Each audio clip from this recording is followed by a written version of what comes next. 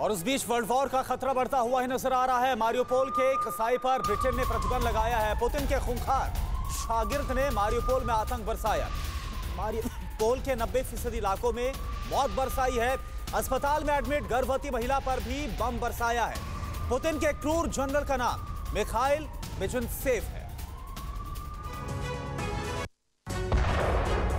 वही है जिसने मारियोपोल को शमशान घाट में तब्दील कर दिया। ये वही है जिसने मारियोपोल के जर्रे जर्रे में बारूद भर दिया। ये रूस का वो शैतानी चेहरा है, जिसे मारियोपोल का कसाई कहा जाने लगा है। आज ब्रिटेन ने रूस के इस जनरल पर प्रतिबंध लगा दिया है, क्योंकि मारियोपोल को तबाह करते करते इसे इस बात का भी होश नहीं रहा कि इसने अस्पताल में भर्ती एक गर्भवती महिला पर भी बम बरसा दिया। पुतिन के इस खूंखार शागिर्द ने मारियोपोल के आसमान से आतंक बरसाया है। पुतिन के इस क्रूर जनरल का नाम है मिखेल मिजिनसेफ जिस पर आरोप है कि इसी ने मारियोपोल के 90 फ़ीसदी इलाके को मौत के मैदान में तब्दील कर दिया। इस पर आरोप है कि इसी की वजह से इस शहर के चार लाख लोग बेघर हो गए। ये वही दरिंदा है जिसने मारियोपोल के मैटरनिटी हॉस्पिटल पर बम बरसाए थे। ये वही कातिल है जिसने मारियोपोल के थिएटर पर तबाही बरसाई थी, जहाँ एक हज़ार लोगों ने पनाह ले रखी थी। ब्रिटेन ने रूस के कई न्यूज़ एंकर और चैनल पर भी प्रतिबंध लगाया है, जो पुतिन के लिए प्रोपेगेंडा मशीन के तौर पर काम कर रहे हैं। मिखाइल मिजिनसेफ को पुतिन ने मारियोपोल को यूक्रेन के नक्शे से मिटाने की ज़िम्मेदारी दी है जिसे मिटाने के लिए इसने जंग के सारे उसूल ताक पर रख दिए हैं। और देखिए, इस बीच एक और अहम खबर, यूक्रेन के मरियोपोल शहर से ही आ रही है। मरियोपोल में रशियन आर्मी की अंधाधुंध फायरिंग सामने आई है। मरियोपोल में सीसीटीवी कैमरे नष्ट कर रही है रूसी फौज। रूसी सेना की ताबड़तोड़ गोलाबारी का एक और वीडियो इस वक्त टीवी नाइन भारतवर्ष पर ये रहा आपके सामने। रूस की सेना किस तरह से मरियोपोल में कर रही है अंधाधुंध फायरिंग? और सड़कों पर जो सीसीटीवी कैमरास मौजूद हैं, उनको कैसे नष्ट किया जा रहा है? ये भी आप देखिए।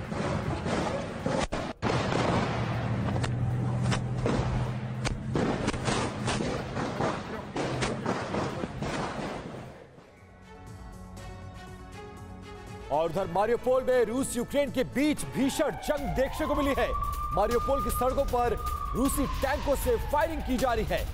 रूस का यूक्रेनी आर्मी के ठिकानों पर अटैक देखने को मिला है और लगातार मारियोपोल फतह करने के लिए रशियन आर्मी के लड़ाके इस वक्त सड़कों पर मौजूद है।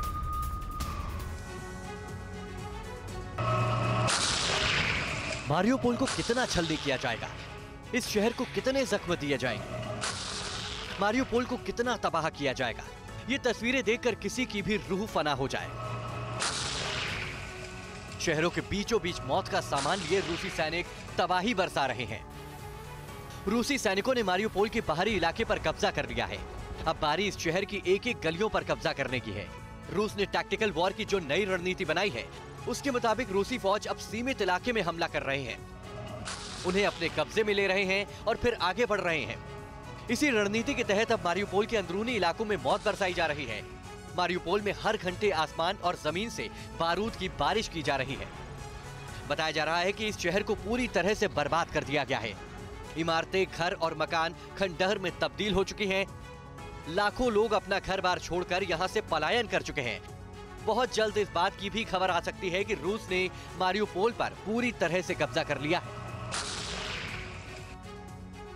अड़ी सोमवार से शुक्रवार शाम छह बजे सिर्फ़ टीवी नाइन भारतवर्ष पर।